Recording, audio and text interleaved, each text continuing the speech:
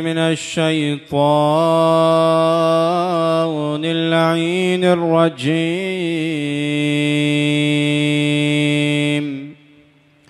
بسم الله الرحمن الرحيم.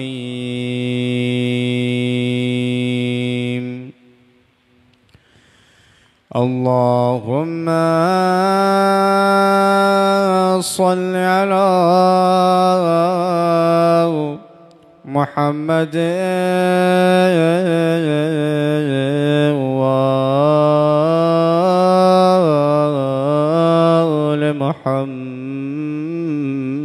محمد. بسم الله الرحمن الرحيم. عن جابر بن عبد الله الأنصاري عن فاطمة الزهراء عليها السلام بنت رسول الله. قال سمعت فاطمة أنها قالت دخل علي أبي رسول الله في بعض الأيام فقال السلام عليك يا فاطمة فقلت عليك السلام قال إني أجد في بدني ضعفا فقلت له أعيذك بالله أبتاه من الضعف. فقال يا فاطمة ائتيني بالكساء اليماني فغطيني به فأتيته بالكساء اليماني فغطيته به وصرت أنظر إليه وإذا وجهه يتلالى كأنه البدر في ليلة التمام وكماله فما كانت إلا ساعة وإذا بولدي الحسن قد أقبل وقال السلام عليك يا أمه فقلت عليك السلام يا قرة عيني وثمرة فؤادي فقال يا أمه إني أشم عندك رائحة.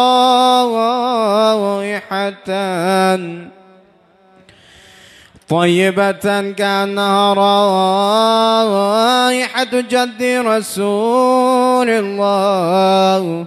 فقلت نعم إن جدك تحت الكساء فأقبل الحسن نحو الكساء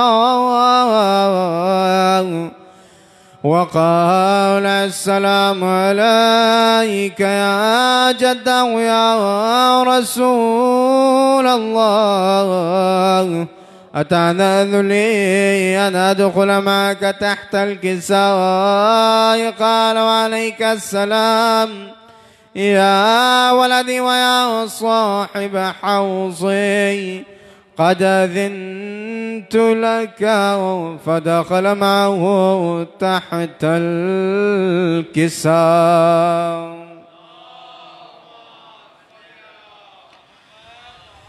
فما كانت إلا ساعة وإذا بولدي الحسين قد أقبل وقال السلام عليك يا أماه فقلت عليك السلام. يا ولدي ويا قرة عيني وثمرة فؤادي فقال لي يا أماه إني أشم عندك رائحة. طيبة كأنها رائحة جد رسول الله. فقلت نعم إن جدك وأخاك تحت الكساء. فدنا الحسين نحو الكساء. وقال السلام عليك يا جداه والسلام عليك يا من اختاره الله. أتأذن لي أن أدخل معكما تحت الكساء؟ فقال وعليك السلام يا ولدي ويا الشوفع أمتي. قد أذنت لك فدخل معهما تحت الكساء.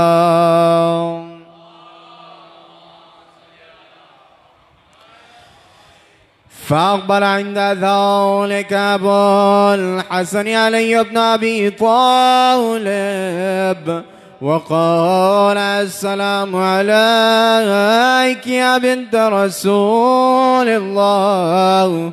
فقلت عليك السلام يا أبا الحسن ويا أمير المؤمنين.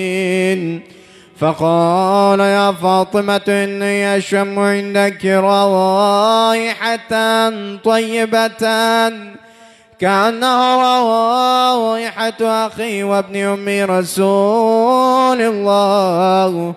فقلت نعم هو مع ولديك تحت الكساء فأقبل علي نحو الكساء.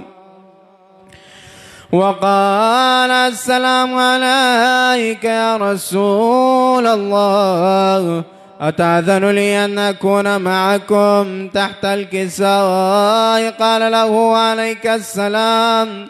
يا أخي ويا وصي وخليفتي وصاحب لواء قد أذنت لك فدخل علي تحت الكساء.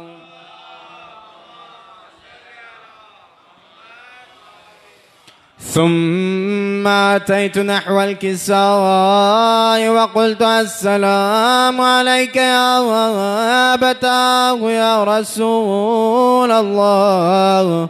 أتأذن لي أن أكون معكم تحت الكساء؟ قال وعليك السلام يا بنتي ويا بصعتي قد أذنت لك. فدخلت تحت الكساء.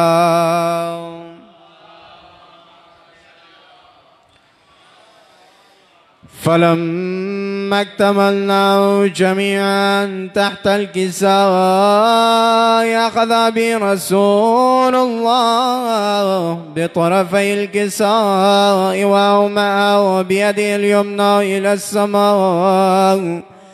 وقال اللهم إن هؤلاء أهل بيتي وخاصتي وحامتي لحمهم لحمي ودمهم دمي يؤلمني ما يؤلمهم ويحزنني ما يحزنهم أنا حرب لمن حاربهم وسلم لمن سولمهم وعدو لمن عاداهم ومحب لمن أحبهم.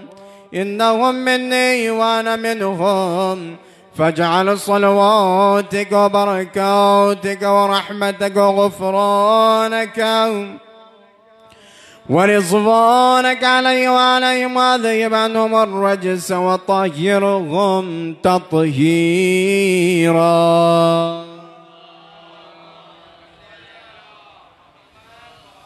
فقال الله عز وجل يا ملائكتي ويا سكان السماوات إني ما خلقت السماء مبنية ولا أرضا مدحية ولا قمرا منيرا ولا شمسا مضيئة ولا فلكا يدور ولا بحرا يجري ولا فلكا يسري إلا في محبة هؤلاء الخمسة الذين هم تحت الكساء. فقال الأمين جبرائيل يا ربي ومن تحت الكساء؟ فقال عز وجل هم أهل بيت النبوة ومعدن الرسولة هم فاطمة وأبوها وبالها وبنوها فقال جبرائيل يا ربي أتأذن لي أن أهبط إلى الأرض ليكون معهم سادسا؟ فقال الله نعم قد أذنت لك فهبط الأمين جبرائيل. وقال السلام عليك يا رسول الله. العلي الأعلى يقرأك السلام ويخصك بالتحية والإكرام ويقول لك وعزتي وجلالي إني ما خلقت السماء مبنية ولا أرض منحية ولا قمرا منيرا ولا شمسا مضيئة ولا فلكا يدور ولا بحرا يجري ولا فلكا يسري إلا لأجلكم ومحبتكم وقد أذن لي أن أدخل معكم فهل تأذنني يا رسول الله. فقال رسول الله وعليك السلام. يا أمين وحي الله. إنه نعم قد أذنت لك. فدخل جبرائيل معنا تحت الكساء.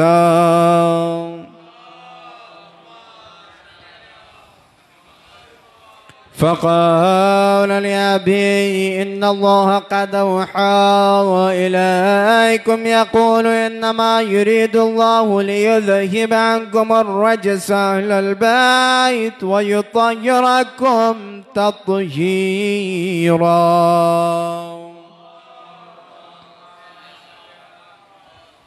فقال علي لأبي رسول الله أخبرني ما لجلوسنا هذا تحت الكساء من الفضل عند الله. فقال النبي صلى الله عليه وآله والذي بعثني بالحق النبيا واصطفاني بالرسالة النجية. ما ذكر خبرنا هذا في محفل من محافل أهل الأرض. وفيه جمع من شيعتنا ومحبينا إلا ونزلت عليهم الرحمة وحفت بهم الملائكة واستغفرت لهم إلى أن يتفرقوا فقال علي عليه السلام إذا والله فزنا وفوز شيعتنا ورب الكعبة. فقال بي رسول الله صلى الله عليه وآله يا علي والذي بعثني بالحق النبيا واصطفاني بالرسولة النجية. ما ذكر خبرنا هذا في محفل من محافل أهل الأرض. وفيه جمع من شيعتنا ومحبينا وفيهم مهموم إلا وفرج الله همه ولا مغموم إلا وكشف الله غمه ولا طالب حاجة إلا وقضى الله حاجته فقال علي عليه السلام إذا والله فزنا وسعدنا وكذلك شيعتنا فازوا واسعدوا في الدنيا والآخرة ورب الكعبة. اللهم صل على محمد وآل محمد.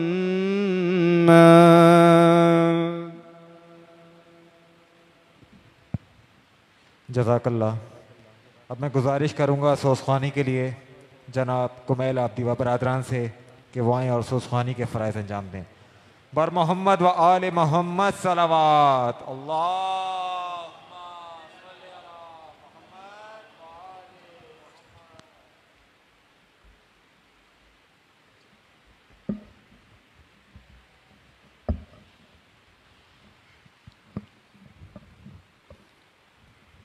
بر محمد وآل محمد بلند تر صلوات.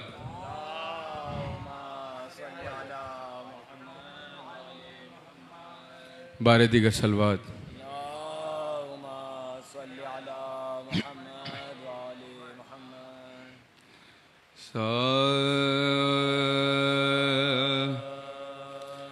فضائے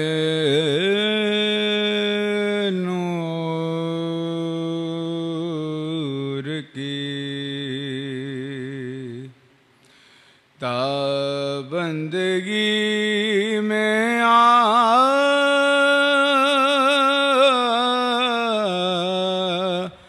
جاؤ۔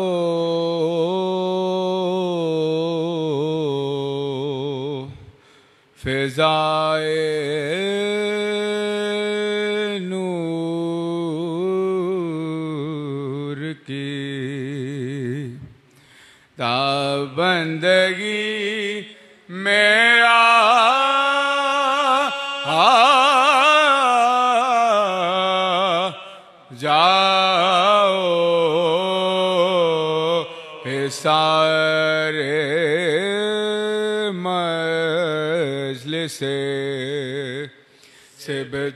نبی میں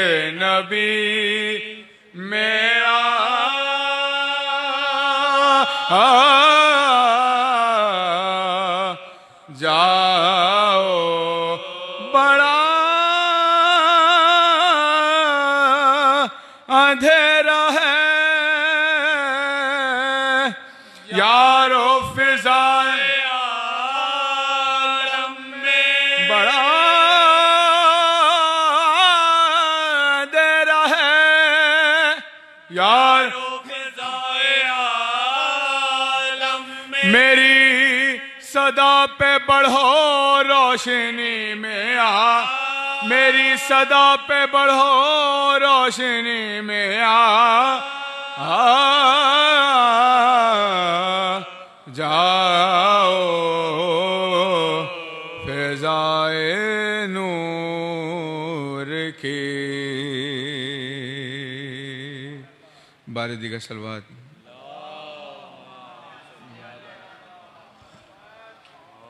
باواز بلند نعرہ سلوات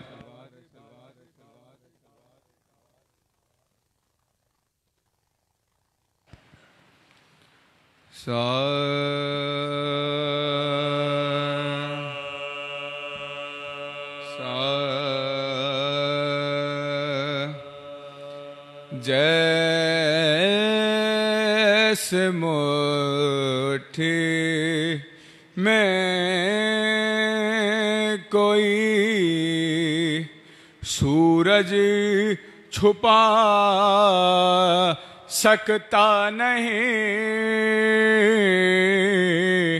جیسے مٹھی میں کوئی سورج چھپا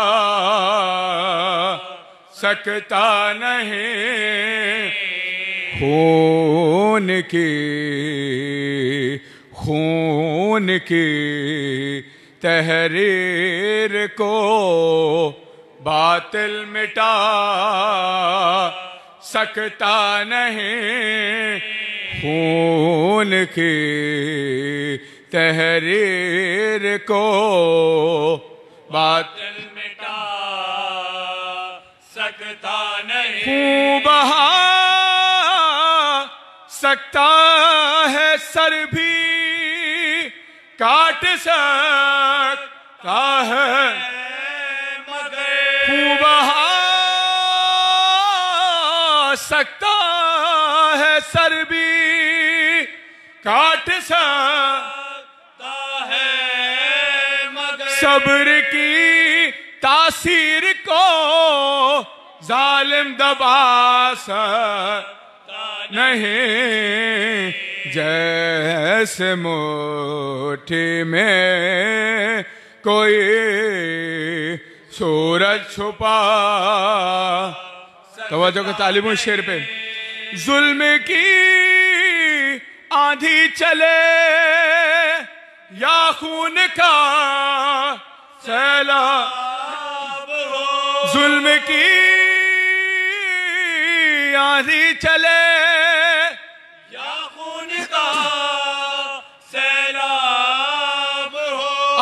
چراغ کربلا، کوئی بجھا سکتا اب چراغ کربلا، کوئی بجھا سکتا فیصلہ شبیر نے جو لکھ دیا سولے فیصلہ شبیر نے جو لکھ دیا سولے اپنی مرضی کا کوئی اسلام لا سکتا نہیں۔ فیصلہ شبیر نے جو لکھ دیا سولے اپنی مرضی کا کوئی اسلام لا سکتا نہیں جیسے موٹھی میں کوئی سورج چھپا سکتا نہیں۔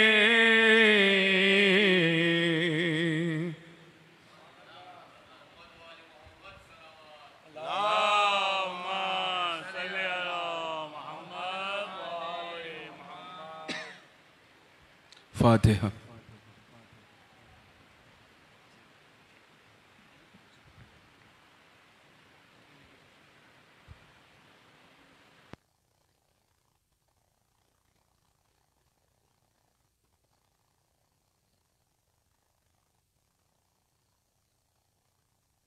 التماس ہے ایک سور فاتحہ، برائے سال ثواب، برائے بلند درجات، منتظمین کے تمام محرومین تمام سودہ ملت جعفریہ، حاضرین مجالس میں جو مومنین بیٹھے ہیں، اپنے اپنے محرومین کو شامل کر لیجیے۔ بالخصوص وہ مومنین جو ہماری ان مجالس میں شرکت کرتے رہے تھے گزشتہ عشروں میں، گزشتہ سالوں میں، اور اب ہمارے درمیان موجود نہیں، ان تمام مومنین کو شامل کر کے ایک بار ان کی روح کو ہدیہ کر دیجیے۔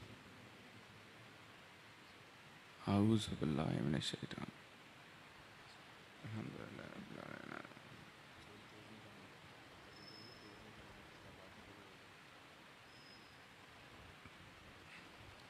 قل هو الله أحد.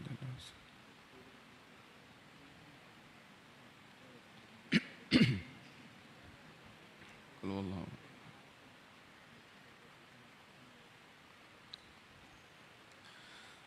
ها لا شک کی جو مختل سے اٹھا لائے حسین۔ لا شک بر کی جو مختل سے اٹھا لائے حسین۔ ارے نوجوان کو صف اول سے اٹھا لائے۔ ارے چاند کو شام کے بادل سے اٹھا ارے جاں بلب شیر کو جنگل سے اٹھا جاں بلب شیر کو جنگل سے اٹھا ارے دی صدا لاش پہ سر آل کے لے جا ارے چھد گیا، برچھی سے اکبر کا کلیجا چھد گیا، برچھی سے اکبر کا کلیجا ارے دیکھ لے آخری دیدار پہ سر مرتا۔ سامنے آنکھوں کے یہ نور نظر۔ اب کوئی دم میں تیرا رشک قمر۔ مرتا ارے منہ سے باہر ہے زباں تشنا جگر۔ ارے دم ہے سینے میں۔ رکا زخموں سے خوجا ہائے بانو تیرا گھر لٹنے کی تئی ہائے بانو تیرا گھر لٹنے کی تئی ارے پہنچی خیمے میں جو حضرت کی ہے پرد مسترب ہو گئے ناموں سے رسول ارے کہا چلا کے سکینہ نے کے ہائے ہائے رفض دوڑی سوئے در پھینک سر۔ ارے پیٹتی زینب مزتر نکل آئی ارے بال گھبرا کے کھلے سر نکل آئی بال گھبرا کے کھلے سر نکل آئی ارے شہ کے کاندھے پہ دیکھا جو۔ ہاتھ پھیلا کے یہ چلائی کے ہے۔ ارے کیا غضب ہو گیا؟ اے بادشاہ نیک ارے راس آیا نہ میرے بچے کو اٹھارے راس آیا نہ میرے بچے کو اٹھارے ٹکڑے تیغوں سے بدن ہو گیا سار ارے کون تھا جس نے میرے شیر کو مارا؟ کون تھا جس نے میرے شیر کو مارا؟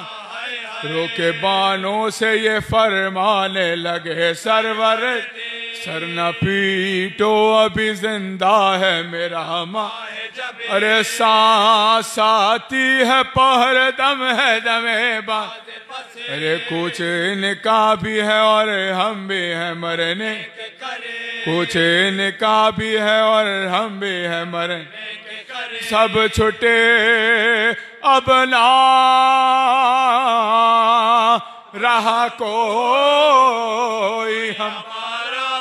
ارے اس جوان بیٹے کے غم نے ہمیں مارا۔ اس جوان بیٹے کے غم نے ہمیں مارا۔ سب چھٹے اب نہ رہا کوئی۔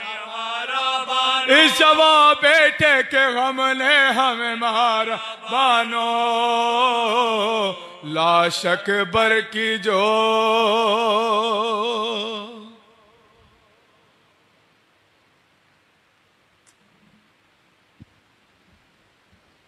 جزاک اللہ ایک گاڑی جس کا number B E C two nine one ہے۔ جن صاحب کی بھی یہ گاڑی ہے، ان سے گزارش ہے مسجد کے گیٹ سے ہٹا لیں۔ گاڑی کا number B E C two nine one ہے۔ جن صاحب کی بھی یہ گاڑی ہے، ان سے گزارش ہے مسجد کے گیٹ سے ہٹا لیں۔ اب میں گزارش کروں گا سلام کے لیے جناب عمران عباس سے کہ وہ آئیں اور ہدیہ سلام پیش کریں۔ بر محمد و آل محمد صلوات۔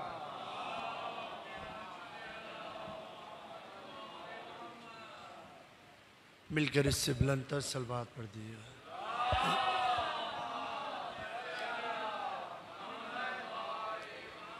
برائے خوشنودی امام زمانہ علیہ السلام بلند تر سلوات۔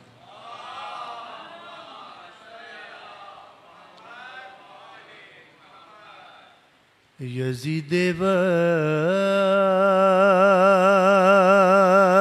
وقت سے یزید وقت سے ڈرنا، کیا خوف کھانا، کیا کمل بھائی؟ یزید وقت سے ڈرنا، کیا خوف کھانا، کیا حسین دل میں ہے تو گردش زمانہ کیا؟ حسین دل میں ہے تو گردش زمانہ کیا؟ کہا حسین راہب کو میں پسر دوں گا۔ کہا حسین نے راہب کو میں پسر دوں گا۔ ذرا سی بات پہ اللہ کو بلانا کیا؟ ذرا سی بات پہ اللہ کو بلانا کیا؟ حسین دل میں ہے تو گردش زمانہ کیا؟ بلندر سلوار پر دیا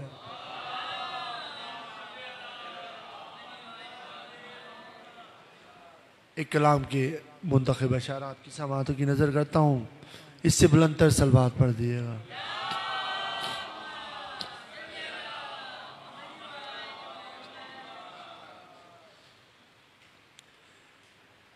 پہلے کردار کو پاکیزہ بنایا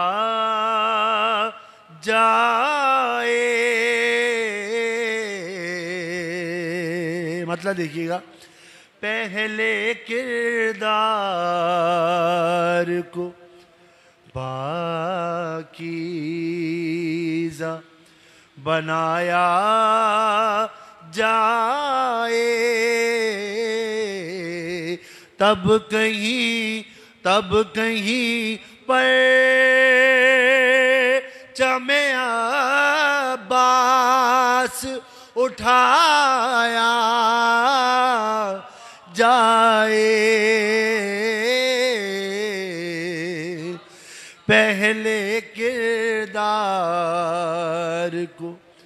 پاکیزہ بنایا جائے۔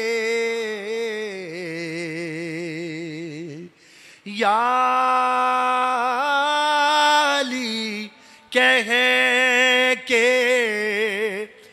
اٹھے گا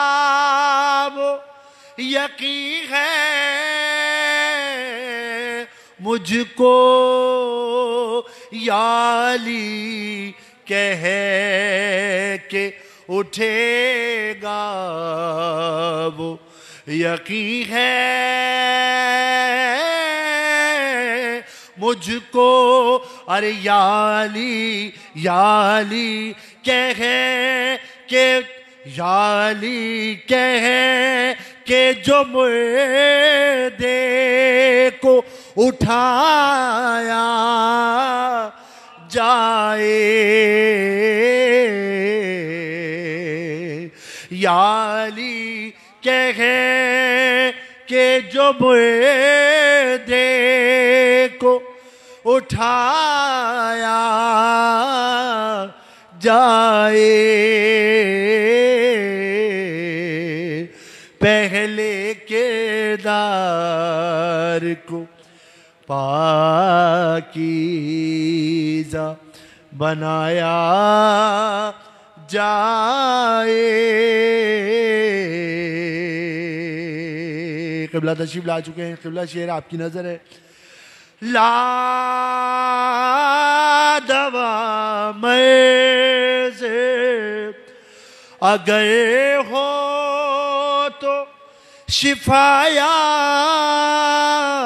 بھی کو لا دوا مرض اگر ہو تو شفایا بھی کو ارے سائے پر چمیا باس ملایا جائے سائے پر چمیا باس ملایا جائے۔ پہلے کردار کو پاکیزہ بنایا جائے۔ مقتے سے پہلے آخری شیر پیش کرتا ہوں۔ مسلمی سمغی لگاؤں گا علی کا نعرہ۔ مسلمی سم ہی لگاؤں گا علی کا نعرہ۔ ارے برسرے دار، اگر مجھ کو چڑھایا جائے۔ پہلے کردار کو پاکیزہ بنایا جائے۔ تب کہیں پر چمیا باس اٹھایا جائے۔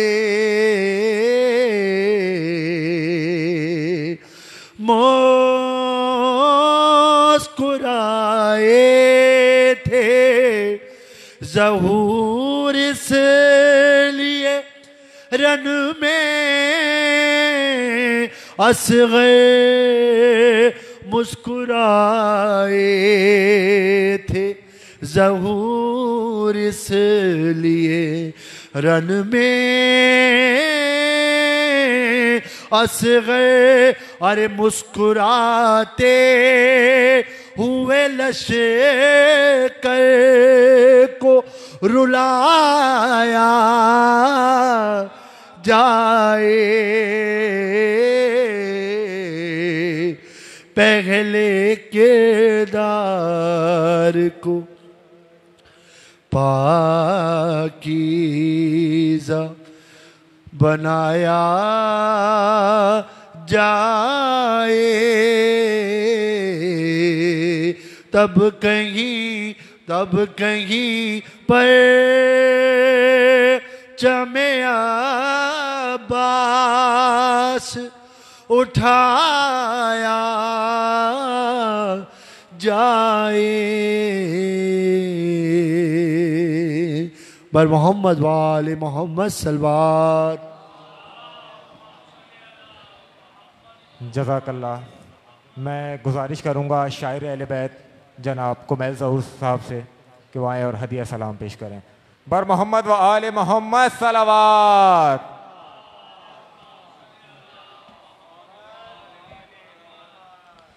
برائے تاجیل ظہور امام زمانہ بلند تر صلوات۔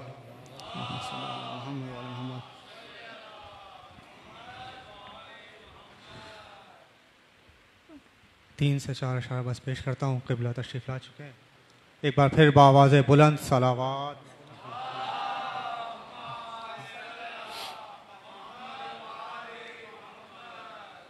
ادائے اجر رسالت نہیں تو کچھ بھی نہیں۔ ادائے اجر رسالت نہیں تو کچھ بھی نہیں۔ نبی کی آل سے الفت نہیں تو کچھ بھی نہیں۔ نبی کی آل سے الفت نہیں تو کچھ بھی نہیں۔ ہزاروں سجدے کرو تم، نمازیو پھر بھی۔ ہزاروں سجدے کرو تم، نمازیو پھر بھی۔ اگر علی سے محبت نہیں تو کچھ بھی نہیں۔ اگر علی سے محبت نہیں تو کچھ بھی نہیں۔ زمانے والو، بنو لاکھ، تم غنی، لیکن زمانے والو، بنو لاکھ، تم غنی، لیکن علی کے پیار کی دولت نہیں تو کچھ بھی نہیں۔ علی کے پیار کی دولت نہیں تو کچھ بھی نہیں۔ بلالو بوزرو، مقدادو، قمبرو، سلما۔ بلالو، بوزرو، مقدادو، قمبرو، سلما۔ جو ان صحابہ کی عظمت نہیں تو کچھ بھی نہیں۔ جو ان صحابہ کی عظمت نہیں تو کچھ بھی نہیں۔ ظہور کہہ دیا ممبر سے یہ محمد نے۔ ظہور کہہ دیا ممبر سے یہ محمد نے، اگر حسین سے چاہت نہیں تو کچھ بھی نہیں۔ جزاک اللہ۔ بنا کسی تاخیر کے میں گزارش کروں گا، حجت الاسلام والمسلمین، مولانا ادریس الحسن صاحب سے کہ وائیں اور خطابت کے فرائض انجام دیں۔ بر محمد و آل محمد صلوات۔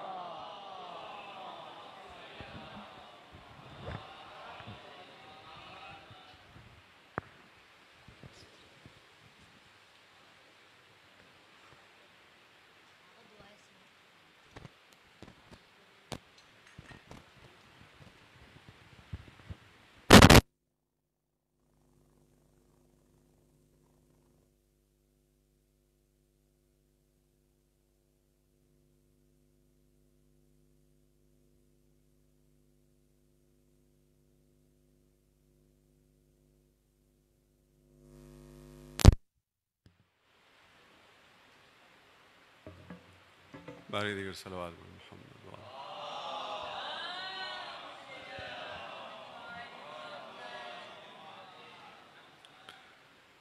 سورہ فاتحہ آپ کو معلوم ہے شفا یابی کے لیے بھی ہے۔ تمام مرحومین کی مغفرت اور تمام بیماروں کی شفا یابی کے لیے بطور خاص ایک مومن کا بھی حال ہی میں ایکسیڈنٹ ہوا، ان کی ہمشیرہ کا بھی آپریشن بھی ہے۔ تمام بیماریوں کی بیماروں کی شفا یابی اور بے اولاد مومنین کے لیے تمام مرحومین کی مغفرت کے لیے سورہ فاتحہ۔ بسم اللہ الرحمن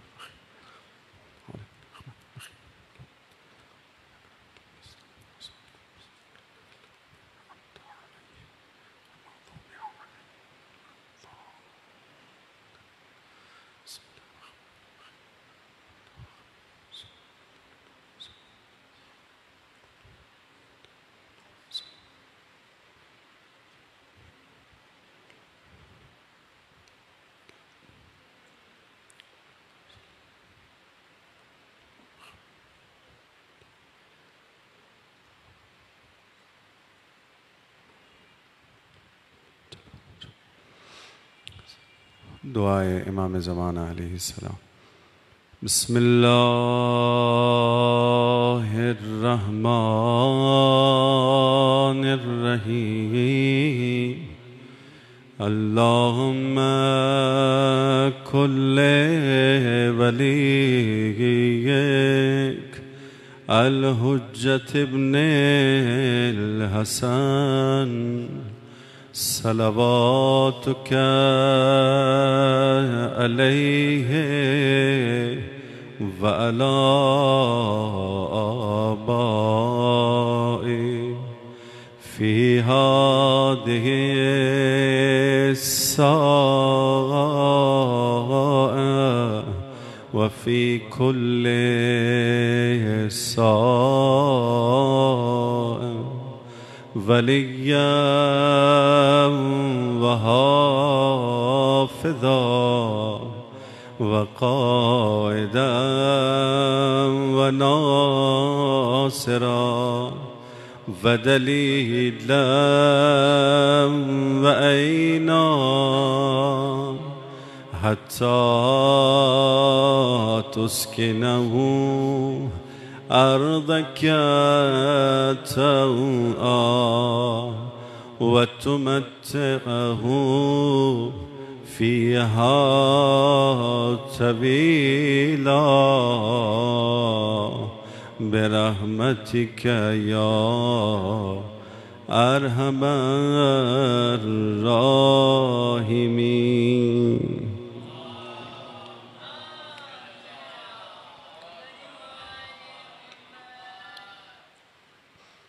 أعوذ بالله السميع العليم من الشيطان اللعين الرجيم. بسم الله الرحمن الرحيم. الحمد لله الذي لا مضاد له في ملكه ولا منازع له في أمره ولا شريك له في خلقه ولا شبيه له في عظمته. الحمد لله على حلمه بعد علمه والحمد لله على عفوه بعد قدرته. والصلاة والسلام والتحية والإكرام على سيدنا ونبينا وحبيب إلهنا وطبيب نفوسنا وشفيع ذنوبنا جد الحسن المجتبى والحسين سيد الشهداء أبي القاسم محمد. اللهم صل محمد اللهم محمد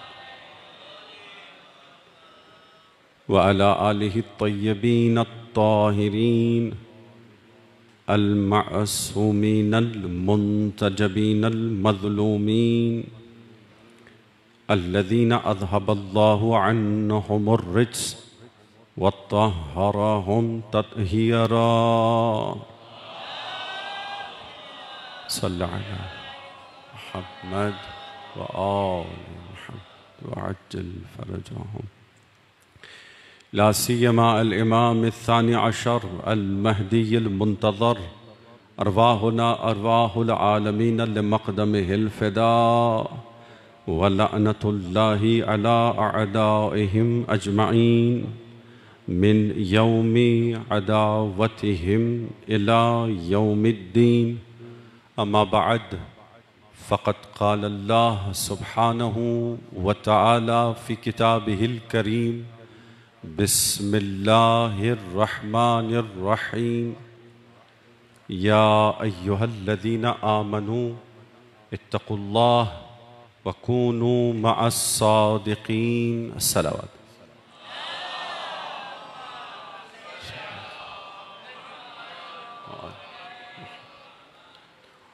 قابل احترام موزز سامن اکرام عزاداران مظلوم امام،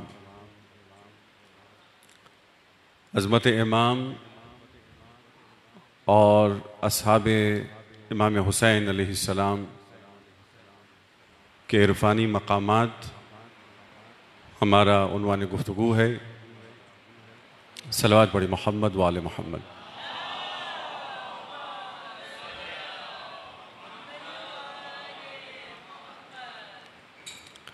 پروردگار عالم نے تمام اہل ایمان اور اہل تقوی کو یہ پیغام دیا۔ کہ کونو مع صادقین آپ کی توجہ شاید میری طرف نہیں ہے۔ میں آپ سب سے گزارش کروں گا۔ مومنین اپنا کام کر رہے ہیں اور اس مجلس ہی کے لیے کر رہے ہیں۔ پروردگار عالم نے اعلان کیا سورہ توبہ کی سایت میں کہ اے ایمان والو، متقی ہو جاؤ، پرہیزگار بن جاؤ اور ایمان اور تقوی کے بعد پوری کوشش کرو کہ سچوں کے ساتھ زندگی گزارو۔ پہلا پیغام تو یہ ہے کہ سچوں کے ساتھ وہ رہ سکتا ہے جو با ایمان ہو۔ سچوں کے ساتھ وہ رہ سکتا ہے جو پرہیزگار ہو، پارسا ہو، متقی ہو۔ ورنہ سچوں کے ساتھ زندگی گزارنا آسان کام نہیں ہوتا۔ یہ بھی وہ سچے ہیں جو صرف سچ بولنے والے نہیں ہیں، جن کی پوری زندگی سچائی ہی سچائی ہے۔ جن کی پوری زندگی سچ ہی سچ ہے، جن کا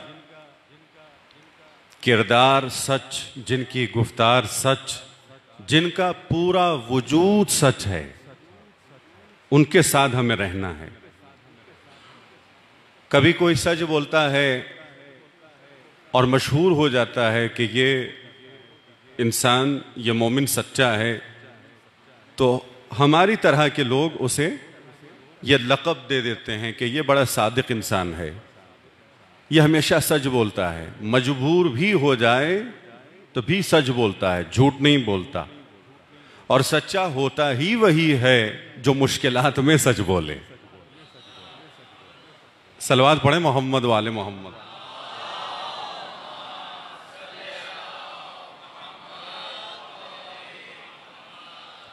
تو ہم کسی کو یہ لقب دے دیتے ہیں کہ یہ بڑا سچا ہے، اس لیے کہ یہ سچ بولتا ہے۔ یہ انسانوں کا مرتبہ ہے کہ ایک دوسرے کو لقب صادق دے دیتے ہیں، سچا کہتے ہیں۔ لیکن محمد والے محمد کا مرتبہ یہ ہے کہ جنہیں صرف انسانوں نے نہیں، اللہ نے خود صادق کہا ہے۔ اللہ نے خود صادق کہا، یہ وہ صادقین ہیں۔ یہ سچائی اور صدق کی اس منزل پر ہیں کہ جن کی سچائی کو پروردگار لمس کر رہا ہے۔ یہ اس منزل پر ہیں۔ تو عزیزان محترم، اسی لیے کوئی آیا رسول اللہ کی خدمت میں، یا رسول اللہ یہ تو سمجھ میں آتا ہے، حضرت سلمان فارسی ہیں۔ یا رسول اللہ یہ تو سمجھ میں آتا ہے کہ ہم ایمان حاصل کریں۔ یہ تو سمجھ میں آتا ہے کہ ہم اپنے ایمان کو بڑھاتے رہیں، تقوی حاصل کریں، اپنے تقوی کو بڑھاتے رہیں۔ مگر آیت یہ کہہ رہی ہے، سچوں کے ساتھ رہو۔ ہم کن سچوں کے ساتھ رہیں؟ تو رسول اللہ نے بڑے واضح انداز میں کہا کہ یہ سچے کوئی غیر نہیں ہیں، یا خود علی ہیں یا آل علی۔ ہیں ان کے ساتھ زندگی گزارو۔ ان کے ساتھ ہمیشہ رہو، ان کی معیت میں رہو۔ اور ان کا ساتھ دیتے رہو۔ مسلسل ان کے ساتھ رہو۔ تو پھر کیا ہوگا؟ ان کے ساتھ رہو گے تو تمہارا تقوی بھی بڑھتا رہے گا۔ ان کے ساتھ رہو گے تمہارا ایمان بھی بڑھتا رہے گا۔ اور سلمان نے یہ کیا، مسلسل رسول خدا کے ساتھ رہے، مسلسل مولائے کائنات کے ساتھ رہے، مسلسل خاندان عصمت و تہارت کے ساتھ رہے۔ اس لیے جس منزل ایمان پر سلمان پہنچے ہیں، کوئی صحابی نہیں پہنچا۔ سلوات پڑی محمد والے محمد پر۔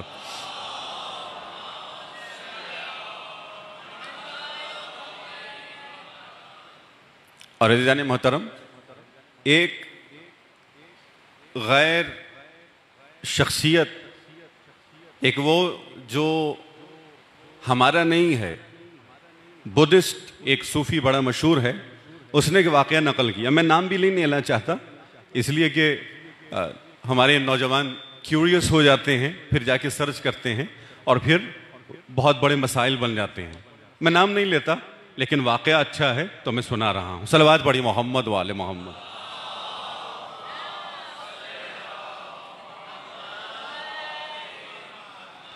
اچھا آپ شاید یہ سوچ رہے ہوں کہ مولانا نام کیوں نہیں لے رہے؟ ہمارے زمانے کا سب سے بڑا مسئلہ، واقعے سے پہلے میں یہ میرے ذہن میں آ گیا تو میں آپ کو سنا دوں کہ سب سے بڑا مسئلہ اس وقت ہمارے زمانے کا یہ جتنے جھوٹے صوفی اور عارف دنیا میں مشہور ہوئے ہیں، سوشل میڈیا پر، حتیٰ بعض ٹیلی ویژنز بعض چینلز دکھلا رہے ہیں ان کو، ان کے پروگرامز دکھا رہے ہیں، ان کی تقریروں کو دکھا رہے ہیں اور خصوصاً یوٹیوب پر ان کے بڑے بڑے صوفی ہیں۔ اچھا جب عرفان اور تصوف کی بات ہوتی ہے نا، تو اس کا مطلب ہرگز یہ نہیں ہے کہ صرف ہمارے شیعہ صوفی ہیں یا عارف ہیں۔ بہتر لفظ عارف ہے، عارف باللہ۔ ہندو بھی صوفی ہیں، یہودی بھی عارف ہیں، عیسائی بھی بڑے بڑے عارف ہیں ان کے جو اس وقت سوشل میڈیا پہ کام کر رہے ہیں، خصوصاً ہندو اور بدھسٹ۔ عرفانیات پہ بہت کام کر رہے ہیں۔ یہ جتنے بھی ان کے عرفان ہیں، یہ سب کاذب ہیں، جھوٹے عرفان ہیں۔ ہمیں سچے عرفان کی تلاش۔ جتنے عرفان صوفیزم، جتنے مکاتب عرفانی اس وقت دنیا میں ہیں، ان کا مقصد یہ ہے کہ انسان اپنی طرف توجہ کرے، اپنی طاقتوں کی طرف توجہ کرے، اپنے کمالات کی طرف توجہ کرے۔ مگر ہمارے عرفان کا ماحصل یہ ہے کہ اے انسان، اپنی طرف توجہ کر کے اپنے رب کی طرف توجہ کرو۔ عبودیت کی منزل پر پہنچ جاؤ۔ یہ بنیادی فرق ہے۔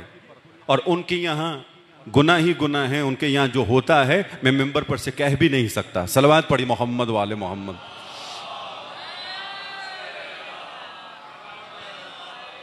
لہٰذا میں والدین سے گزارش کروں گا صرف یہ نہیں کہ آپ اپنے بچوں کو جو نیگیٹو ویب سائٹس ہیں ویڈیوز ہیں پکچرز ہیں، ان سے دور رکھیں۔ نہیں ان کتابوں سے بھی دور رکھیں جو کتابیں آپ کے بچوں کو خدا سے دور کر دیتی ہیں، اہل بیت سے دور کر دیتی ہیں۔ ان کتابوں کو کتاب زالہ کہتے ہیں۔ ہمارے یہاں، ہماری شریعت میں، ہماری فقہ میں ایک چیپٹر ہے کتب زالہ کے نام سے۔ یعنی ان کتابوں کو پڑھنا حرام ہے جن کتابوں سے بچے گمراہ ہو جاتے ہیں۔ سلوات پڑھی محمد والے محمد۔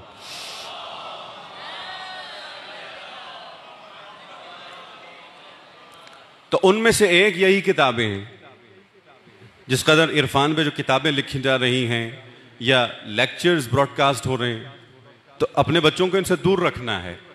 اب دیکھیں، بہت ساری باتیں نکل رہی ہیں۔ ایک موضوع جو حرام ہے، وہ ہے جادو کا۔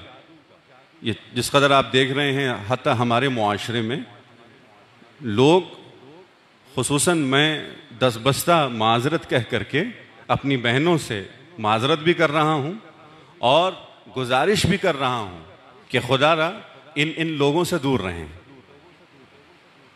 جو فیملیز کو توڑ رہے ہیں، محبتوں کو ختم کر رہے ہیں، اتحاد کو ختم کر رہے ہیں، اس میں کوئی شک نہیں ہے کہ جادو کی حقیقت ہے، جنات کی حقیقت ہے۔ لیکن سب کچھ ہمارے پاس ہے۔ اہل بیت علیہ والسلام نے ہمیں جو احادیث بدلائی ہیں، دعائیں دی ہیں، ان دعاؤں کے ذریعے سے کوئی ایسا مسئلہ نہیں ہے جو حل نہ ہو۔ سلوات پڑھی محمد وال محمد۔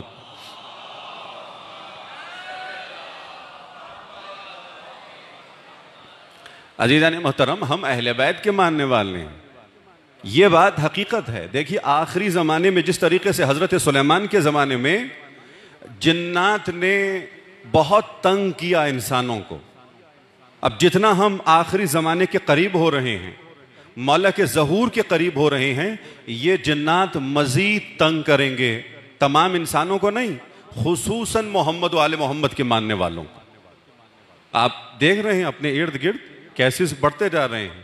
اچھا ان ان سب کا مسئلہ سائیکالوجی کا مسئلہ نہیں ہے۔ یہ جتنے مسائل آپ دیکھ رہے ہیں، ان کا تعلق، ان بعض لوگوں کا تعلق ہے نفسیات سے سائیکالوجی سے۔ یا جتنے ہمارے ڈاکٹر حضرات آپ سے کہتے ہیں، آپ جائیں علاج کروانے، لیکن یاد رکھیے، احادیث میں یہ بھی بتلایا گیا ہے کہ کوئی ایسی مخلوق بھی ہے جو آپ کو تنگ کرتی ہے۔ لیکن میں آپ کو حدیث کی روشنی میں بتلا رہا ہوں، جتنے جوان بیٹھے ہیں، جتنے نوجوان میری مائیں بہنیں بیٹھی ہیں، میں ان کے لیے کہہ رہا ہوں، اگر کوئی آپ کے رشتہ داروں میں، اگر کوئی نوجوان، جوان، بچہ، بچی، کوئی بھی اس مرض میں مبتلا ہے اور مسلسل اسے جنات تنگ کر رہے ہیں، تو ایک ہی سورہ کی تلاوت کافی ہے۔ رات میں سورہ صافات کی تلاوت کریں، اتنا نور دل میں آ جاتا ہے، یہ خود بھاگ جاتے سورہ صافات میں بہت طاقت ہے۔ سورہ صافات میں بہت قوت ہے۔ کوشش کریں، ہر مومن اس سورہ کی تلاوت کرے، ہر رات سونے سے پہلے۔ سلوات پڑھی محمد والے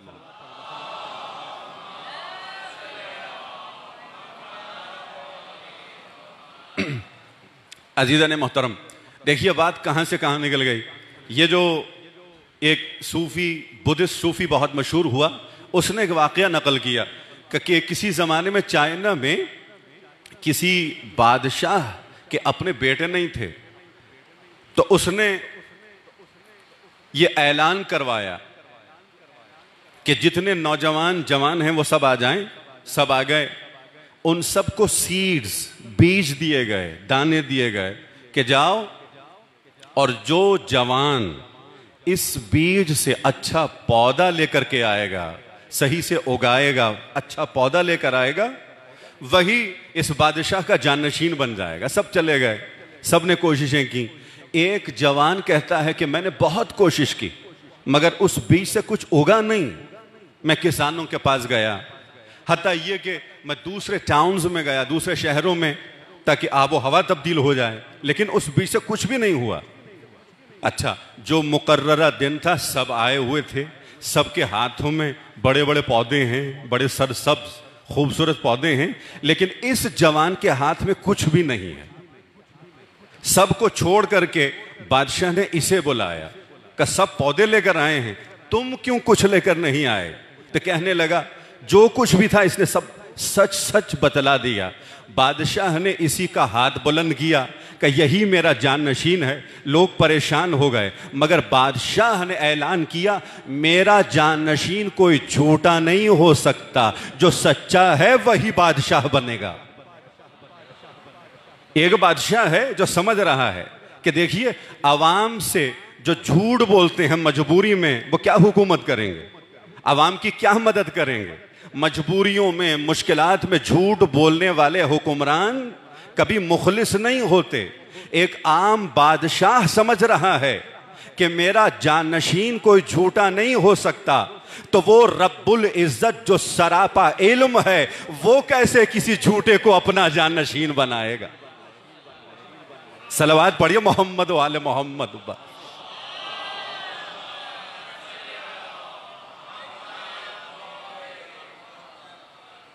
بار دیگر سلوات پڑھیے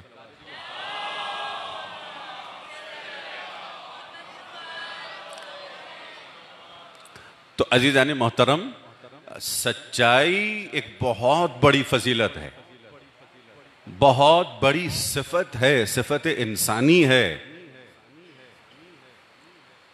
اسی لیے مولا کیا فرماتے ہیں؟ مولا فرماتے ہیں النجات فی الصدق۔ جو شخص بھی نجات حاصل کرنا چاہتا ہے نا، زندگی میں اور خصوصاً اگر کوئی یہ چاہتا ہے کہ عاقبت بخیر ہو جائے، ہمیشہ مولا کے ساتھ رہے اور خصوصاً زندگی کے آخری ایام میں اپنے مولا کے ساتھ ہو، تو مولا خود کہہ رہے ہیں، نجات صدق میں ہے، نجات سچائی میں ہے اور بہت خوبصورت احادیث ہیں۔ کہ لوگ یہ کہتے ہیں، یہ بڑا اچھا انسان ہے، یہ ہمیشہ وقت پہ نماز پڑھتا ہے، یہ بڑا اچھا انسان ہے، یہ ہر ماہ رمضان میں روزہ رکھتا ہے، یہ حج کے لیے بھی گیا ہے، یہ خمس کے لیے خمس بھی دیتا ہے، لیکن مولا کیا فرما رہے ہیں؟ کہ اچھائی کا معیار یہ اعمال نہیں ہے، اچھائی کا معیار صداقت ہے۔ دیکھو یہ انسان کتنا سچا ہے۔ میں آپ سے پوچھوں اگر آپ بزنس کرنا چاہیں، کاروبار کرنا چاہیں، آپ کسی کو اپنا پارٹنر بنانا چاہتے ہیں، تو کیا آپ اس کی نماز دیکھ کر کے اسے اپنا پارٹنر بنائیں گے؟ اس کے روزے دیکھیں گے؟ یہ دیکھیں گے وہ کتنا اچھا قاری ہے، کتنا اچھا نوح خان ہے، کتنا اچھا بولتا ہے، اگر میری طرح کوئی خطیب ہو، بولنے والا ہو، آپ یہ دیکھیں گے۔ مولا کہتے ہیں، یہ نہ دیکھو کہ وہ کتنا بڑا نمازی ہے، روزہ دار ہے۔ اگر کسی کو رشتہ دے رہے ہو یا کاروبار میں شریک کر رہے ہو، یہ دیکھو کہ وہ سچا ہے یا جھوٹا ہے۔ سلوات پڑی محمد والے محمد۔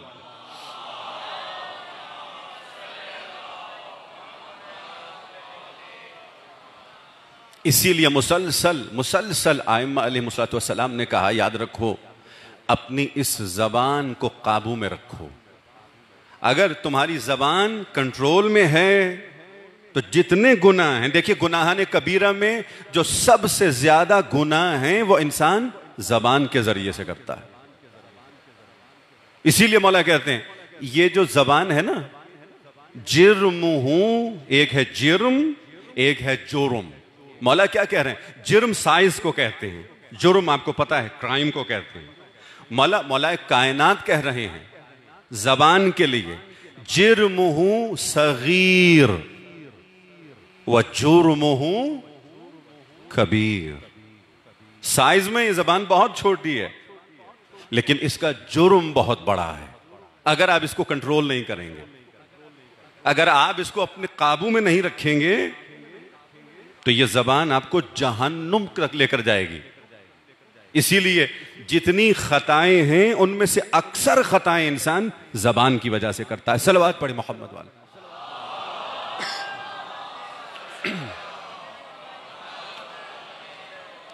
انسان جتنا بولے گا، اتنی خطا کرے گا۔ جتنا بولے گا، جھوٹ کے بھی چانسز ہیں، غیبت کے بھی چانسز ہیں توہمت کے بھی چانسز ہیں، توہین کے بھی چانسز جتنے بڑے بڑے گناہ ہیں، جو شخص جتنا بولتا ہے اتنا ہی گناہ کرتا ہے۔ لہذا مولا کہتے ہیں، زیادہ کوشش کرو، خاموش رہو۔ جہاں بولنا واجب ہے، وہاں بولو۔ شیعوں کی ایک نشانی یہی ہے، شیعہ کم بولتا ہے، زیادہ نہیں بولتا۔ سلوات پڑی محمد والے محمد۔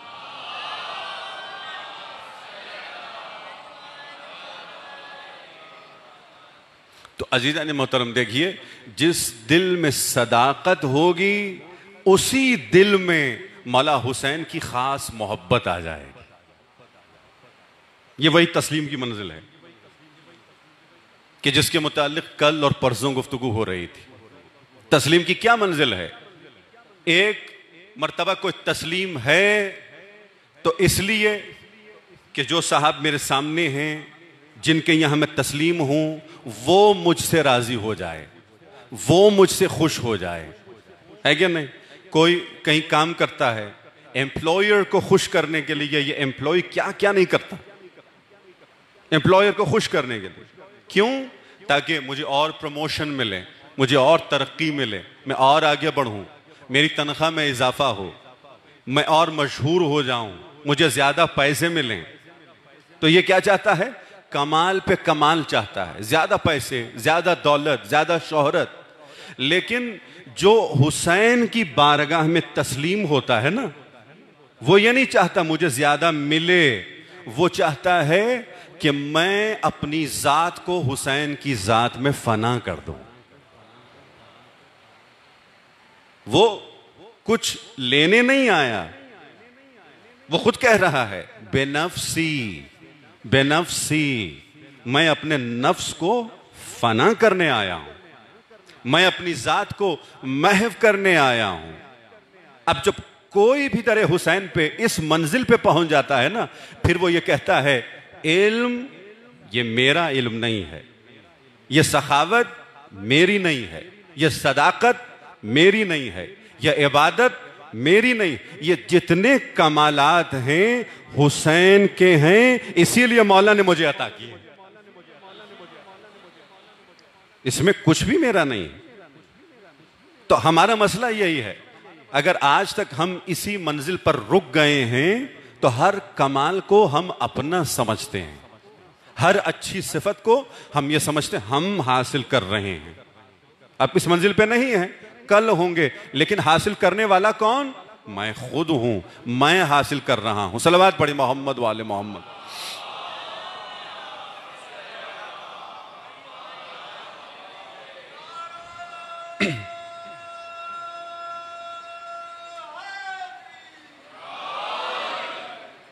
قاجار کے زمانے میں ایک بہت بڑا کاروباری تھا اور دربار میں اس کا بڑا نام تھا قاجاری دربار میں۔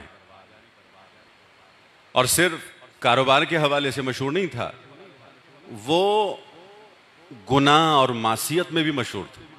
ایسے ایسے گناہ کرتا تھا کہ اس وقت کے لوگ اس سے نفرت کرنے لگ گئے تھے۔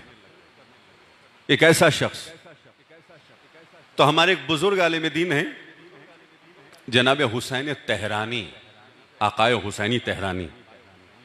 بہت سالوں پہلے گزر گئے۔ وہ کہتے ہیں کہ ایک رات میں نے خواب میں دیکھا کہ فرشتے آئے، مجھے اپنے ساتھ لے گئے۔ عالم برزخ میں مجھے دکھلا رہے ہیں۔ دیکھو، یہ فلاں شخص کا باغ ہے۔ کتنا خوبصورت ہے، کتنا وسیع ہے۔ مجھے اور آگے لے کر گئے۔ یہ فلاں شخص کا باغ ہے۔ کہ یہاں تک کہ ہم ایک جگہ پہنچے کہ جو باغ بہت ہی خوبصورت اور بہت وسیع و عریض کہ تمہیں معلوم ہے یہ کس کا ہے؟ مجھے کیا معلوم؟ کہ قبلہ، یہ اسی مشہور کاروباری جو بہت گناہ کرتا ہے، یہ اسی کا باغ ہے۔ یہ اسی کا باغ ہے۔ یہ عالم دین کہتے ہیں، میں پریشان ہو گیا کہ یہ کیسے ممکن ہے؟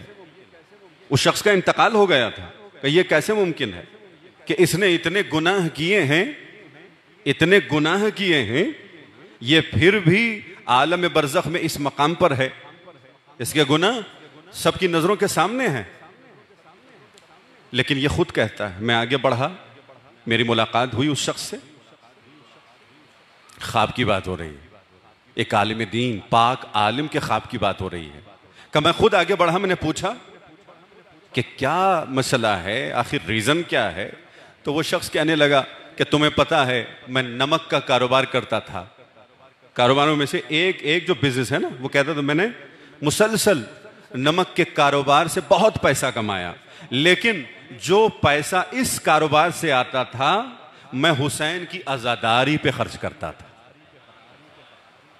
مولا حسین کی ازاداری پہ خرچ کرتا تھا۔ کو فلاں صاحب تھے، میں ان کو بھیج دیتا تھا۔ نجف اشرف میں، کرب و بلا میں جو مجلسیں ہوتی تھیں، میں کہتا تھا، وہاں پہ خرچ کر دیا کرو۔ کپس اسی لیے جب پہلی مرتبہ فرشتے آئے مجھے لے کر کے جانے لگے اور پھر سارا حساب و کتاب شروع ہوا۔ ایک طرف میرے گناہ رکھے گئے اور ایک طرف حسین کی آزاداری رکھی گئی۔ میں بخش دیا گیا۔ مجھے پروردگار نے معاف کر دیا۔ لیکن یہ عالم برزخ کی بات ہو رہی ہے۔ عالم قیامت کی بات نہیں ہو رہی۔ مجھے بخش دیا گیا۔ مجھے یہ باغ مل گیا۔ ہے یہ نجات کی منزل ہے عزیزان محترم۔ اور پھر یہ عالم کہتا ہے، جب میں اٹھا، میں نے جا کر کے پوچھا، تو لوگوں نے بتایا ایسا ہی تھا۔ یہ گنہگار تو تھا، مگر یہ مولا حسین کا عاشق بھی تھا۔ یہ مولا حسین کی ازاداری پہ خرچ بہت کرتا تھا۔ ہو سکتا ہے کہ اسی وجہ سے اس نے آخری دنوں میں توبہ کر لی ہو۔ پروردگار نے مغفرت کا نور دے دیا ہو۔ سلوات پڑھی محمد والے محمد پر۔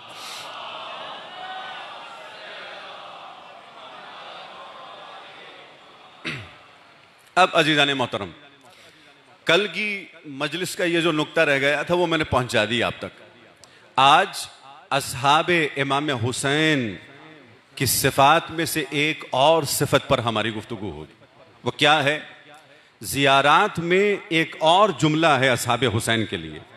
ہم کہتے ہیں، السلام علیکہ یا طاہرین من الدنس۔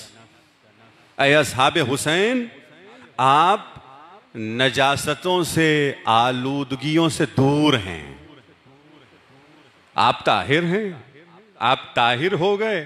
ایک اور زیارت کے جملے ہیں طیب تم اے اصحاب حسین، آپ طیب ہو گئے۔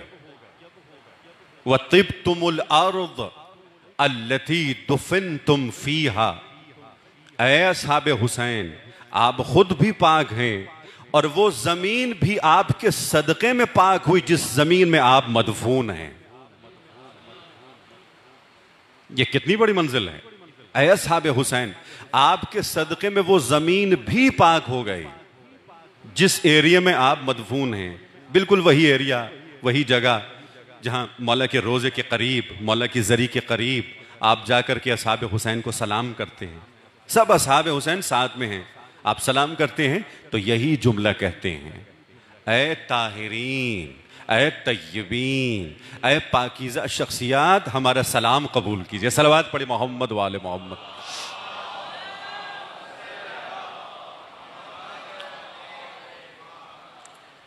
لیکن ندیدان محترم یہ پاکیزگی کیسے نصیب ہوئی؟ اصحاب امام حسین علیہ السلام کو۔ یہ کس طرح کی پاکیزگی ہے؟ ہر طرح کے گناہ سے اصحاب حسین پاکیزہ ہو گئے۔ ہر طرح کے گناہ کے۔ دیکھیے تہارت کی منزلیں ہیں۔ کبھی تہارت کا تعلق انسان کے اعمال سے ہے، انسان کے عمل سے ہے۔ اور کبھی تہارت کا تعلق انسان کی صفات سے ہے۔ کہ ہماری صفات پاک ہیں یا نہیں ہیں؟ اور کبھی تہارت کا تعلق انسان کی ذات سے ہے۔ جیسے ہم مولا امام حسین علیہ السلام کی مجلس میں آتے ہیں اور خصوصاً جب مصائب کا ذکر ہوتا ہے تو ہم اشک بہاتے ہیں۔ حدیث کے جملے ہیں جو مولا امام حسین کے غم میں ایک قطرہ اشک بہائے اس کے گناہ ختم ہو جاتے ہیں۔ حدیث کے جملے۔ کتنے گناہ کا اگر دریا اور سمندر کے برابر بھی ہوں، اس کے گناہ معاف ہو جاتے ایسا کیوں ہے؟ کبھی آپ نے سوچا؟ ایسا کیوں ہے؟ وجہ کیا ہے؟ فلسفہ کیا ہے؟ اس میں تو کوئی شک نہیں ہے نا؟ گناہ معاف ہو جاتے ہیں۔ کوئی توبہ کرے، نہیں معلوم گناہ معاف ہوں یا نہ ہوں۔ توبہ ایک بہت اچھی عادت ہے۔ ہر رات انسان استغفار کرے۔ لیکن معصومین نے ہمیں راستہ بدلا دیا۔ توبہ کرنا چاہتے ہو تو استغفار کے ساتھ غم حسین میں آنسو بہاؤ۔ سارے گناہ معاف ہو جائیں گے۔ جتنے گناہ ہیں معاف ہو جائیں گے۔ لیکن فلسفہ کیا ہے؟ وجہ کیا ہے؟ اب جو وجہ ہے وہ میں بتلانے جا رہا ہوں۔ جو سبب ہے اس کے پیچھے، جو ریزننگ ہے وہ میں بتلانے جا رہا ہوں۔ اور وہ یہ ہے کہ جب انسان غم حسین میں آنسو بہا رہا ہوتا ہے، تو اس کا دل دل حسین سے متصل ہو جاتا ہے۔ اس کا قلب حسین کے قلب سے متصل ہو جاتا ہے۔ قلب حسین سراپا تہارت اور پاکیزگی ہے۔ ادھر سے تہارت کے سمندر تہارت سے قطرے آتے ہیں، اس کا دل بھی پاک ہو جاتا ہے۔ سلوات پڑھے محمد والے محمد۔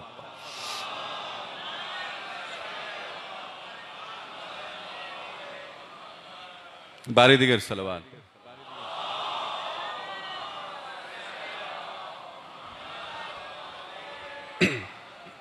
بعض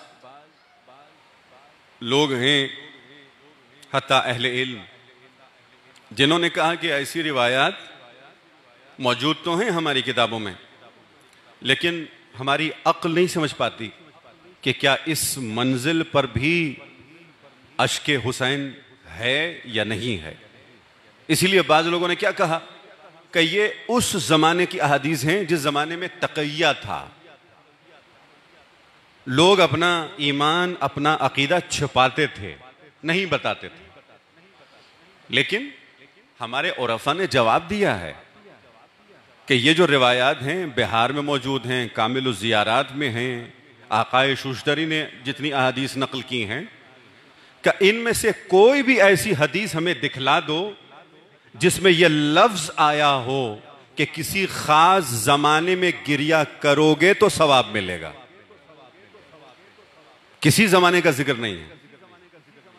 اور دوسری بات یہ ہے کہ دیکھیں، کسی بھی زمانے کے لیے حدیث یہ کہہ رہی ہے کہ جو بھی روئے گا، کب روئے گا؟ حدیث یہ نہیں کہہ رہی۔ کہاں روئے گا؟ حدیث یہ بھی نہیں کہہ رہی۔ کہ جہاں بھی رو، جس زمانے میں رو، غم حسین میں، تمہارے گناہ بخش دیے جائیں گے۔ کسی زمانے میں رو، ایک ایسا ازادار حسین ہے جو یہاں فرش ازا بر آتا ہے، سب کے ساتھ مل کر روتا ہے۔ کوئی ایسا ازادار بھی ہے، جب گھر واپس جاتا ہے تو رات سوتے وقت پھر مولا حسین کی کوئی مصیبت یاد آ جاتی ہے۔ یہ پھر رونے لگتا ہے۔ اب تو تنہا ہے نا، اپنے بیڈ روم میں ہے، رو رہا ہے۔ کسی کو دکھا بھی نہیں رہا۔ نہ تقیہ کی منزل ہے، نہ دکھانے کی منزل ہے، نہ ریاکاری کی منزل ہے۔ اور رو رہا ہے۔ تو حدیث صاف کہہ رہی ہے، تم جہاں بھی ہو۔ تو بس سمجھ میں آ گیا، یہ احادیث کسی خاص زمانے کے لیے نہیں ہے نہ کسی خاص مکان کے لیے ہیں۔ کہ جب بھی رو گے جہاں بھی رو گے تمہارے سارے گناہ معاف ہو جائیں گے۔ سلوات پڑی محمد والے محمد۔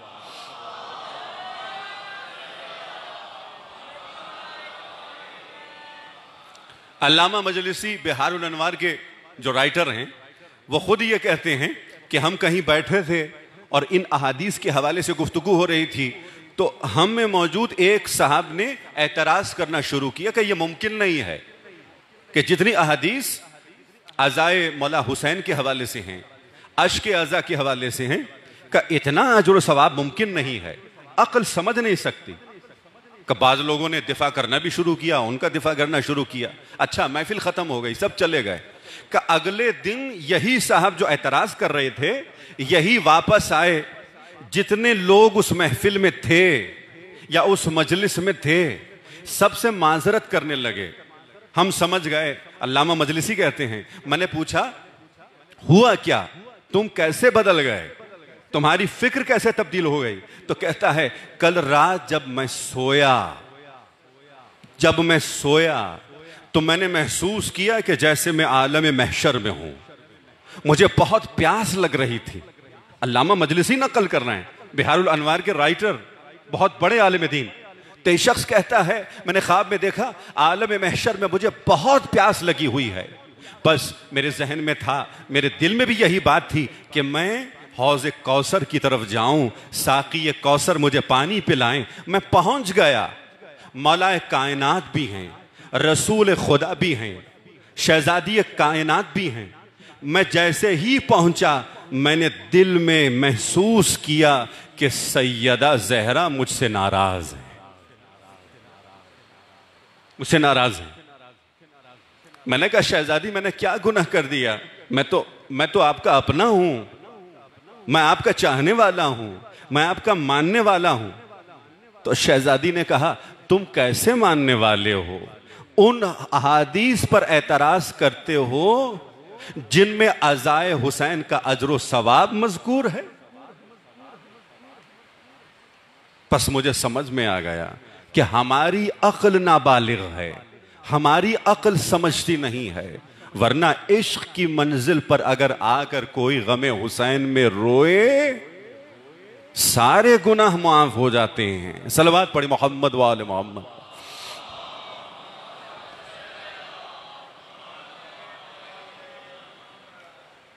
یہ یہ مقام ہے، مقام ازائے حسین۔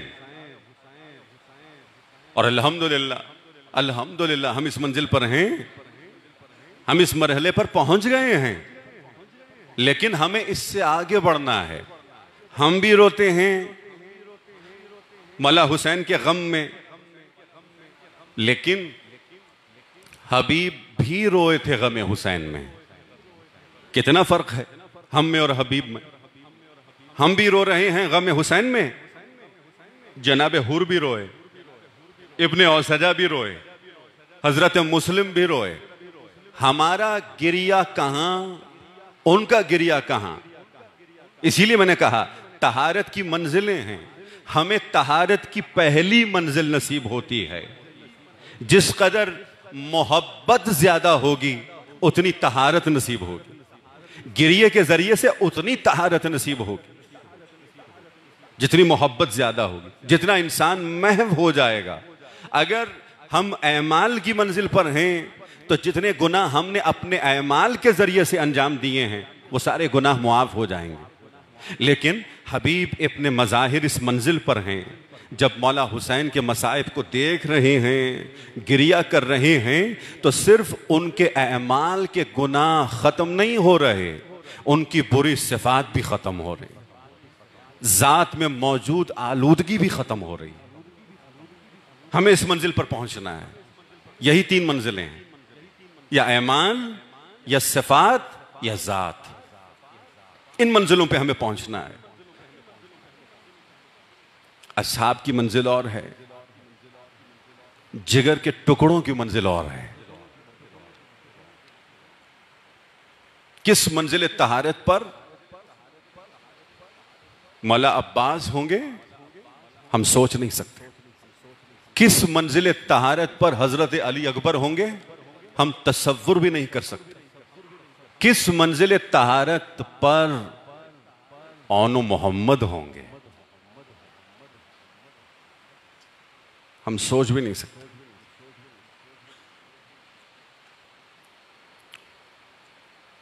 جب قافلہ اٹھائیس رجب کو چلا تھا مدینے سے، تو بڑوں کے لیے تو آسان تھا برداشت کرنا۔ پانچ مہینے مسلسل سفر میں، مگر اس قافلے میں اون و محمد جیسے چھوٹے چھوٹے بچے بھی تھے۔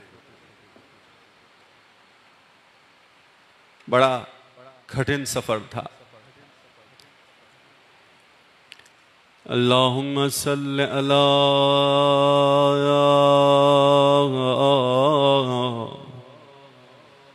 محمد وآل محمد.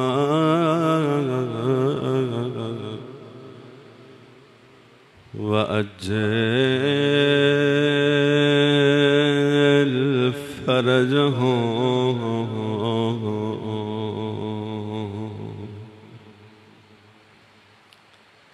السلام على الحسين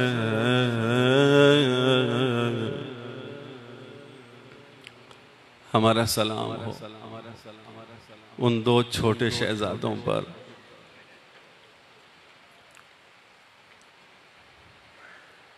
کہ جو پیاسے بھی تھے۔ اور حسین پر اپنی جان لٹانے آئے تھے۔ میں چاہتا ہوں چند مصروں سے آغاز کروں اور بارگاہ حضرت زہرا میں ہم سب مل کے پرسا پیش کریں۔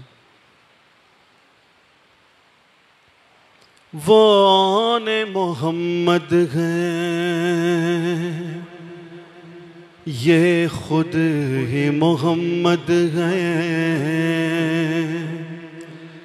ایسار کی دنیا میں آئی نئے احمد ہیں۔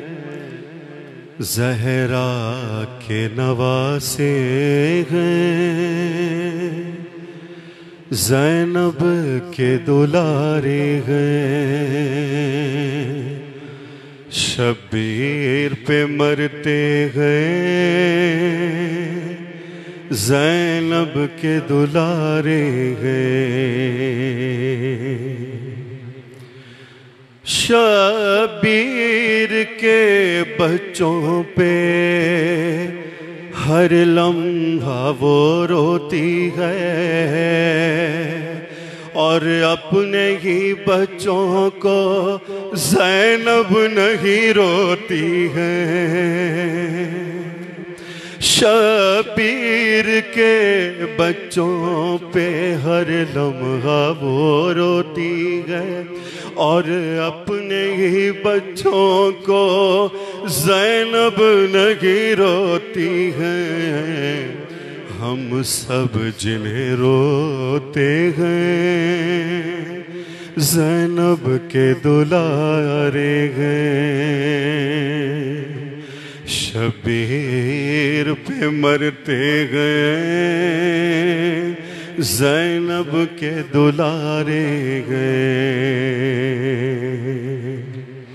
دو ننے نمازی کو ماں باپ بہت روئے۔ دو چھوٹے مسلوں سے وہ یاد بہت آئے ہیں۔ یہ جن کے مسلے گئے زینب کے دلارے گئے زہرا کے نواسے ہیں۔ زینب کے دلارے گئے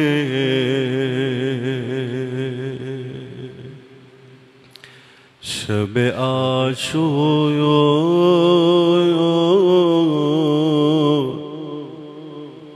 ہر ماں اپنے بچے کو تیار کر رہی تھی۔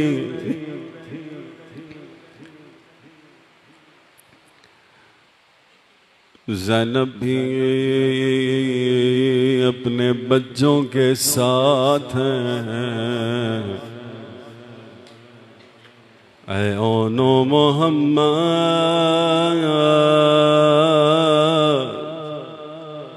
تم حیدر کرار کے نواسے ہو۔ جعفر زیار کے پوتے ہو نو محمد۔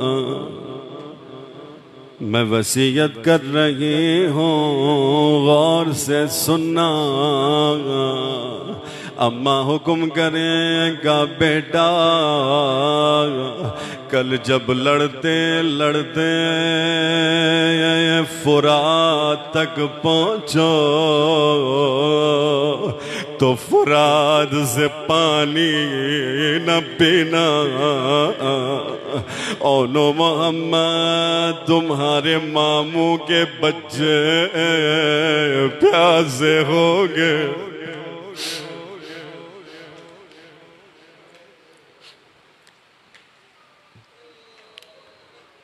بس صبح ہوئی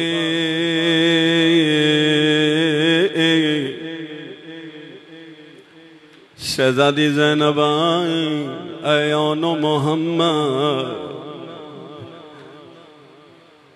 کیا تم ماموں کے پاس نہیں گئے؟ اجازت نہیں لی کہاں اماں یا غم گئے تھے؟ ماموں اجازت نہیں دیتے۔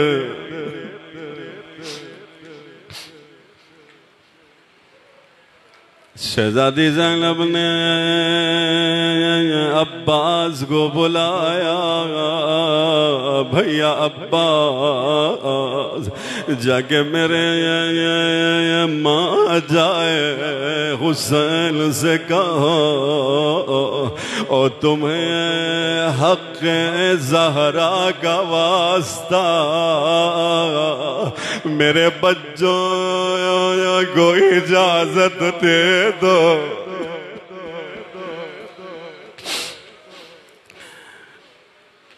مولا حسین خدا گئے،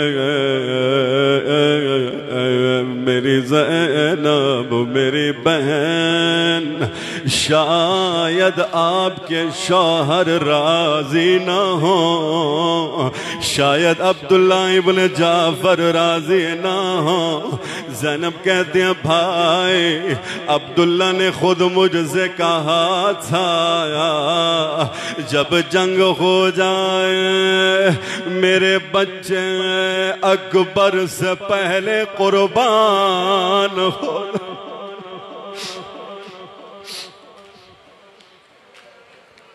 اکبر سے پہلے قربان ہو جائے بس ماموں نے بچوں کو تیار کیا۔ یہ بج میدان کی طرف گئے۔ بڑی شجاعت سے جنگ کی دشمن کے لشکر میں گھس گئے۔ بڑے بڑے یزیدیوں کو فنار کیا۔ ابن سعد نے آواز دی، اب ان کو گھیرو آخر تین دل کے پیاسے ہیں کسی نے وار کیا، تلوار کی ضربہ ایک بھائی کے سر پہ لگے اور دوسرے بھائی کو گرز سے مارا۔ دونوں بھائی گر گئے اور نے آواز دی، بھیا جلدی نہ کرو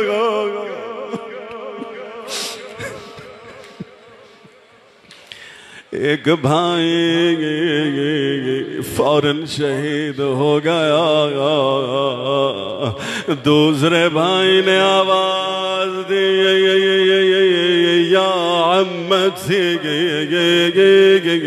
یا عمی ادرکنی ادرکنی ملا حسین پہنچ گئے، بچے کے سر کو گود میں لیا کا مامو جان میری اماں کو میرا سلام کہنا۔ اور میری اماں سے کہنا، مجھے وسیعت یاد تھی۔ ہم دونوں بھائی فرات تک پہنچے تھے، مگر ہم نے پانی نہیں پیا۔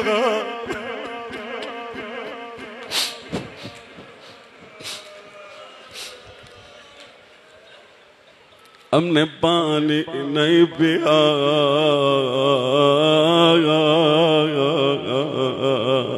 مولا حسین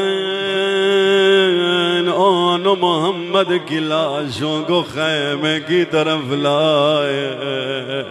وہ زینب جو ہر شہید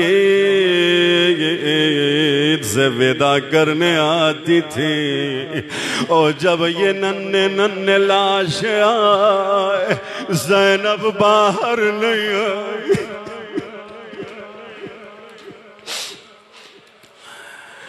ملا حسین فضا زگام فضا جاگے میری بہن کو بولا۔ زینب اپنے بچوں سے آخری ودا کر لے۔ زینب، فضائی فضا نے کہا زینب اب شہزادی، کیوں باہر نہیں آتی؟ کہ میں باہر آؤں تو میرا بھائیا شرمندہ ہوگا۔ میں نہیں چاہتی میرا حسین ایک لہجے کے لیے۔ حسین کی یہ بہن کیا کہنا چاہتی ہے؟ یہ کہنا چاہتی ہے، جب کوئی صدقے میں کچھ دے دیتا ہے، پھر اسے نہیں روتا۔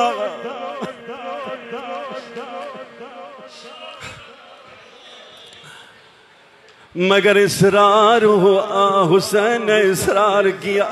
شہزادی زینب آئی روئی نہیں۔ دو لاشوں کے درمیان بیٹھ گئی پوچھتی ہیں اون محمد، تم چلے گئے، مگر میرا بھائی تنہا ہے۔ اب کوئی دفاع کرنے والا نہیں. میں اور کسے قربان کروں یہ صبر زینب یہ مقام زینب ہے۔ گیارہ محرم کو جب ہر بیوی اپنے وارثوں کی لاشوں پہ آئے۔ بی بی زینب اپنے بچوں کی لاشوں پہ نہیں گئی۔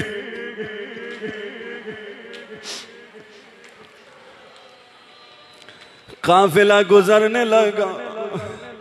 مقتل سے گزرا اور جس ناقے پہ زینب سوار تھی، جب وہ اونٹنی دو لاشوں کے قریب پہنچ زینب کی نظر پڑی، روئی نہیں۔ بس اتنا کہا، اے اون محمد خدا حافظ۔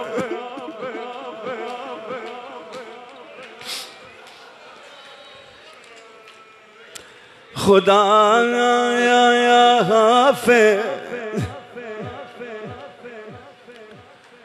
زینب چلی گئی. راستے بھر میں نیزوں پہ شہداء کے سر تھے۔ ان دو چھوٹے چھوٹے بچوں کے سر بھی تھے۔ ہر بی بی روتی تھی، مگر زینب نے گریا نہیں کیا۔ اور جب رہائی ہوئی، شہداء کے سر آئے، علی اکبر کا سر آیا۔ زینب نے گریا کیا۔ عباس کا سر آیا، زینب بہت روئی، مگر آئے جبان محمد کے سر آئے، زینب نہیں گرو ایک شامی عورت آگے بڑھ کے کہتی ہے کیا ان دو بچوں کی ماں مر گئی ہے؟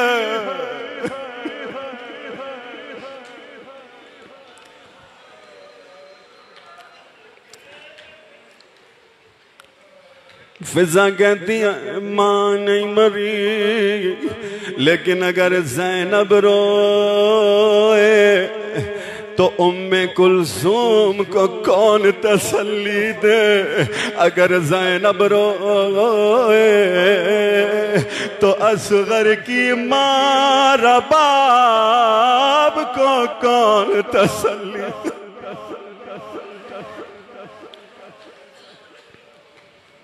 بس زدہ یہ قافلہ، پھر کربلا پہنچا۔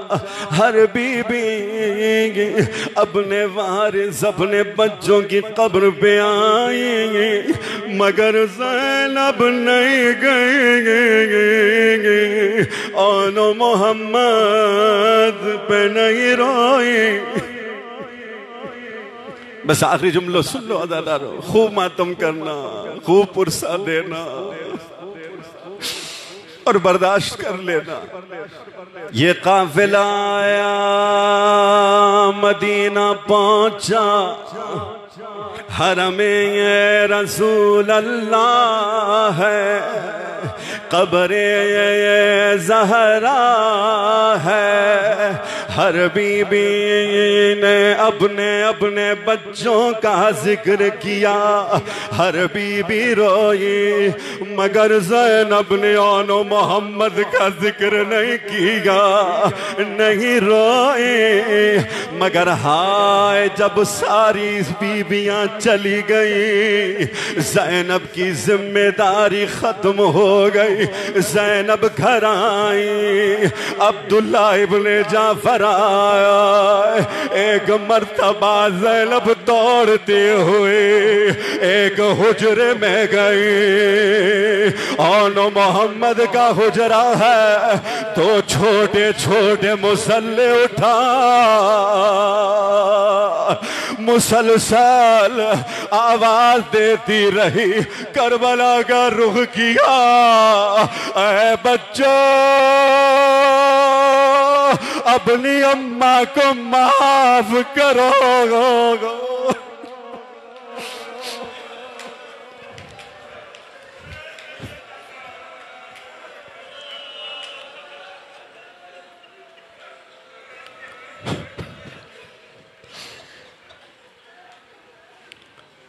سيعلم الذين ظلموا أي منقلب ينقلبون.